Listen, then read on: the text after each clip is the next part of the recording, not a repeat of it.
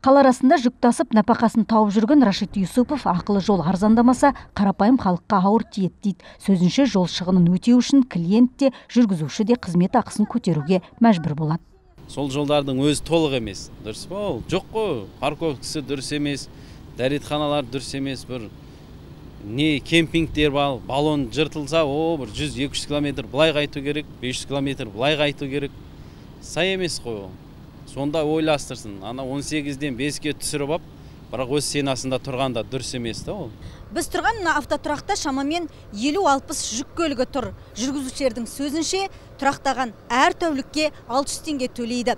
Жолға шықсақ та шықпасақ та шығынға батып жатқанын айтқан олар ақылы жолдың санын емес құнын азайтуды сұрайды. Жүргізушілер жол ақылы болу үшін оның сапасын жақсарту керек деген пікірде. Ал үкімет ұсынған тариф тым қымбат. Оны төлесек ары бері жүрген шығынды ақтау қиындайды дейді. Біздің мына грузовойда грузовойда жүрген кісілердің бәрі фафа делада отырады. Осы екеуі ақ сонда. Соны ашып қарап көрсін да бағалар қандай болады. Соған кішкене сәйкестендіріп бағасын шығарып отырса болады ғой. Қанша онда орташа. Орташа баға ма міне ноль соляркасын ақтамайды бұл кісілер жатыр аптадан бері. Қанша күн тұрмыз қазір? Бір апта болды. Бір аптада орта шеппен таңғы обедке кешкі төрт мың бес мың теңге кетеді тамаққа. А біз бір апта болды. Бір аптада қазір біз қанша ақша жеп қойдық? отыз бес мың теңге. Оны бізге біреу тамақ істеп бермейді ғой. Ресми дерек бойынша қазақстанда республикалық маңызы бар 25 мың шақырым жол бар. Оның 700 шақырымдайы ақылы. Ал алдағы төрт жылда тағы 11 мың шақырым бағытты ақылы қылу жоспарланған. Бірақ жүргізушілер ақылы жолдың өзі нашар дейді. Ол жақта отырғандар ойлайтын шығар біз бетонный жол соқтық. Бәрі гладкий идеальный деп ойлайтын шығар.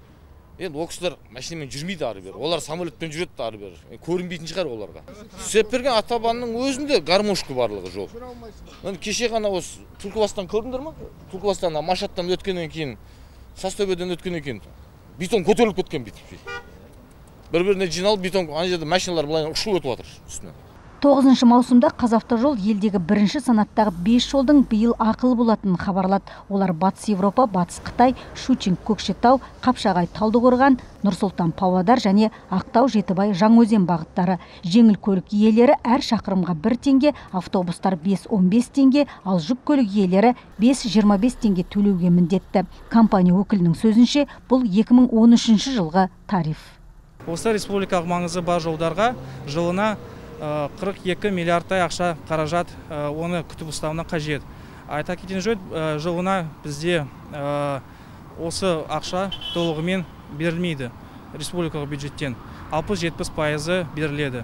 Сол себепті көптеген жолдарда уақытында средний ремонт күрделі ремонт жүргізілмейді. Сол себепті көптеген жолдарда осындай наразылық тудырған осындай жағдай болады. Әуелде үкімет 18 жол бөлігіне ақылы жүйе енгізуді жоспарлаған. Бірақ тексере келе 13 бағытта түрлі кем кетік анықталып оны арнайы құрылған комиссия тексеруге кіріскен. Қазавтожол дерегінше бұл бағыттар бойынша қандай тариф болары белгісіз. Анығы екінші және үшінші санаттағы жолға төленетін ақы бірінші санаттан арзанырақ болмақ. Қазақстанда жол тегін болу керек.